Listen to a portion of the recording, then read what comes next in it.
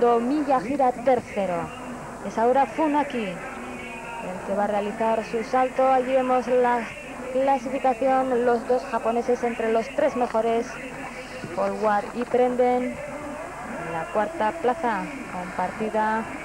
Y atención ahora al salto de Funaki también con muy buenos resultados en el torneo y a punto ha estado de caer como apurado hasta el final. Quería conseguir unos metros más como fuese y a punto ha estado de caer como ha hecho ese gesto con los brazos. Allí vemos esa reflexión un tanto complicada para él, muy flexionado y tan solo 88 metros que le llevan hasta la decimoquinta plaza.